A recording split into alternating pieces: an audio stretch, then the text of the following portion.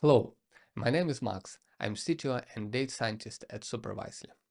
Recently, the new extension of Segment Anything model was released in machine learning community. It's called Segment Anything in high quality. This model can segment objects with complex shape and structures way better than the default SAM model. And in today's tutorial, I will show you how to run and use this model inside Supervisely labeling tool. We will compare the predictions from both models on some edge cases that are really hard to segment. Let's start.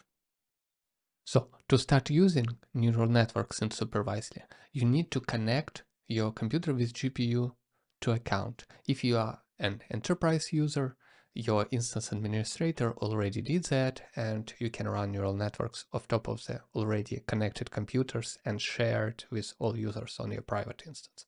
So to connect computer, we need to go to team cluster page and press add button and execute one command in the terminal. As you can see, I have several computers connected. Uh, I will attach the link to the description so you can easily connect your own computer.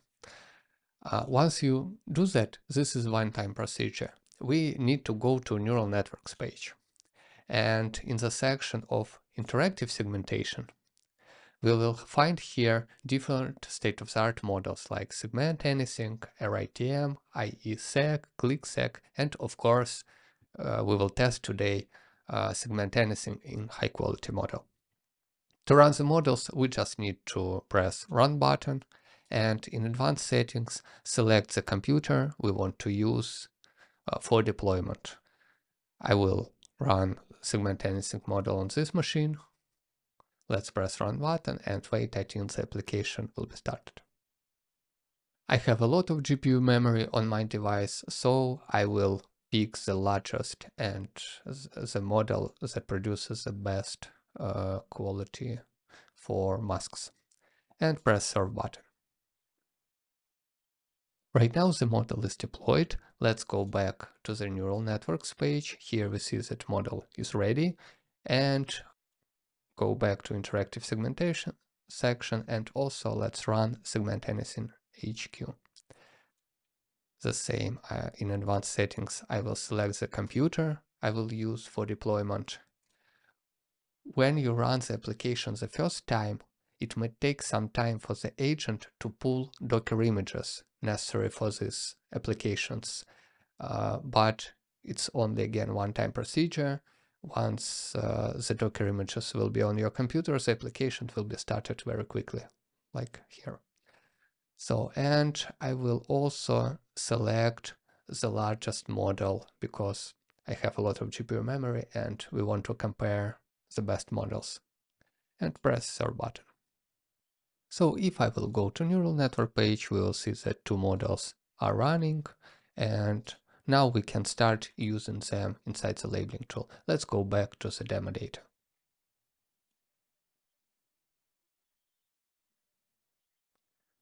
Here I have several images and we will try both models on some of them.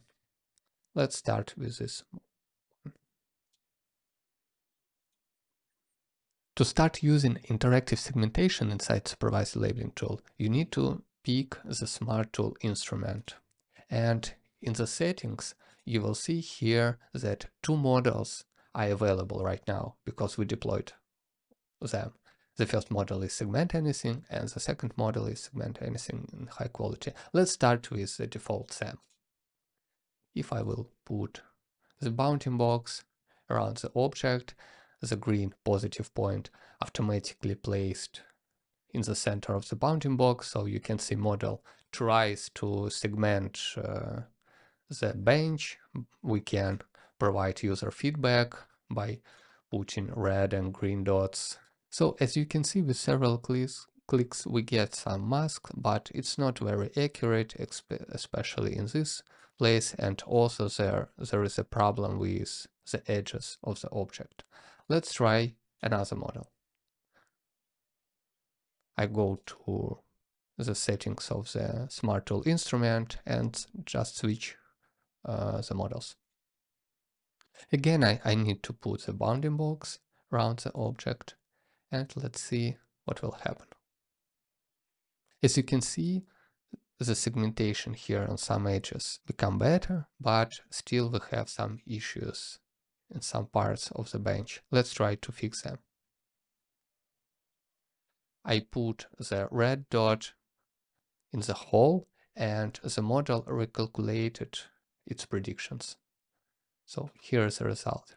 Let's try it on another image, this one. I will switch back to default segment anything model and we'll try to segment this object.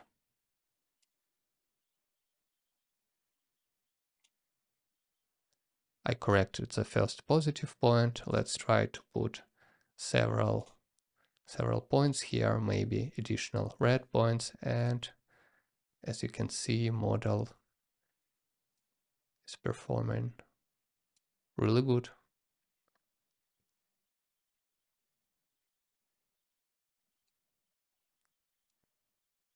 So I had to put a lot of positive and negative points as a user feedback, but still we have some problems with edges and some parts of the ladder are missing. Let's try another model. I switch to SAM HQ and do the same procedure. I put the bounding box, then I correct the first point, then it's better to provide also negative points to remove the background from the object. And as you can see, uh, with less number of clicks, I can achieve uh, the better performance of this object. That's very good. Let's go to the last example.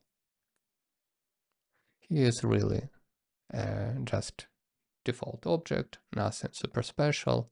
I will try to segment it with default model. And let's correct some objects part here.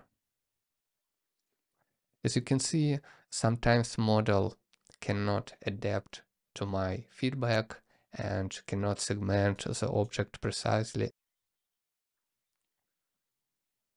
Some parts are also missing, so uh, it will be hard for me to uh, to correct the model predictions with the clicks.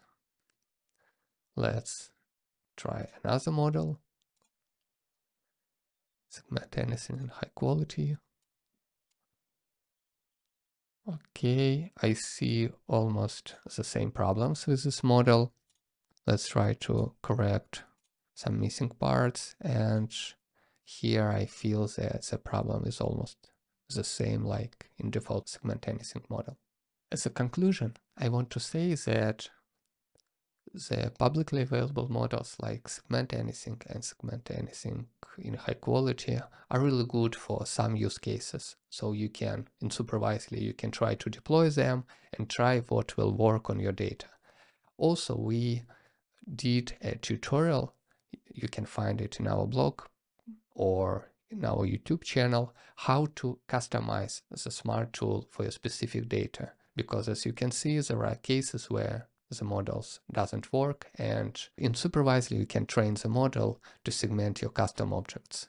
I will provide the link uh, in the description. So if you find this tutorial useful, please press the like button and subscribe to our channel to watch more computer vision tutorials. Thank you for watching. Goodbye.